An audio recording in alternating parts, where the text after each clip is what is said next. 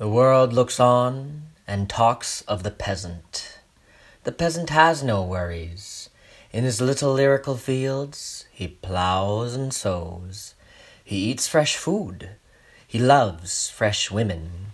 He is his own master, as it was in the beginning, the simpleness of peasant life. The birds that sing for him are eternal choirs. Everywhere he walks, there are flowers. His heart is pure. His mind is clear.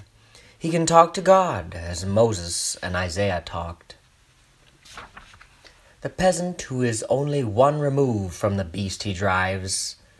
The travelers stop their cars to gape over the green bank into his fields. There is the source from which all cultures rise, and all religions. There's the pool in which the poet dips and the musician. Without the peasant base, civilization must die.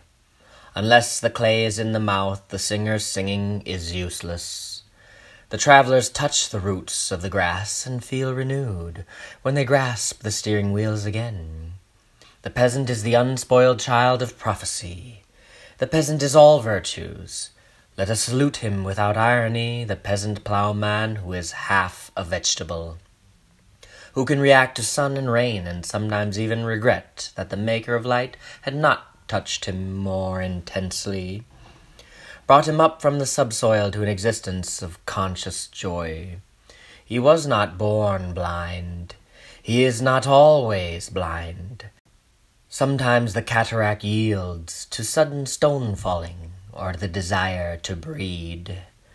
The girls pass along the roads, and he can remember what man is, but there is nothing he can do. Is there nothing he can do? Is there no escape? No escape.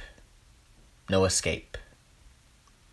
The cows and the horses breed, and the potato seed gives a bud and a root, and rots in the good mother's way with her sons. The fledged bird is thrown from the nest on its own. But the peasant in his little acres is tied to a mother's womb by the wind toughened navel cord like a goat tethered to the stump of a tree.